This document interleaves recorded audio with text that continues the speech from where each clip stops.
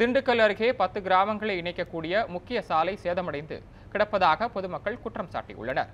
கொடை ரோடு பகுதியிலிருந்து செல்லும் ஜெகநாதபுரம் மாவுத்தன்பட்டி சாலை இருபத்து ஐந்து ஆண்டுகளுக்கு முன்னர் அகல ரயில் பாதை விரிவாக்க பணியின் போது அமைக்கப்பட்டது. இரண்டு கிலோமீட்டர் தூரமுள்ள இந்த சாலை தற்போது சேதமடைந்து மக்கள் பயன்படுத்த முடியாத நிலையில் உள்ளது. இது குறித்து தமிழ்நாடு அனைத்து வகை மாற்றுத்திறனாளிகள் சங்கத்தின் சார்பில் போராட்டம் நடத்தப்படும் என அறிவித்த பின்னர் பேச்சுவார்த்தை நடத்தப்படுவதாகவும் ஆனால் இதுவரை எந்த நடவடிக்கையும் எடுக்கப்படவில்லை எனவும் அப்பகுதி மக்கள் குற்றம் சாட்டியுள்ளனர். எனவே பத்து கிராமங்களை இணைக்கும் முக்கிய சாலையை விரைவில் சீரமைத்து தர வேண்டும் என கோரிக்கை விடுக்கப்பட்டுள்ளது. எங்கள் ஊர் செல்லும் சாலை மிகவும் பழுதடைந்துள்ளதால் நாலு கிலோமீட்டர் சுற்றி செல்ல வேண்டிய நிலைமை ஏற்பட்டுள்ளது. இதில் குறிப்பாக சொல்லப்போனால் கர்ப்பிணி பெண்கள் ஆம்புலன்ஸில் செல்வது மிகவும் சிரமத்துக்குள்ளாகிறது.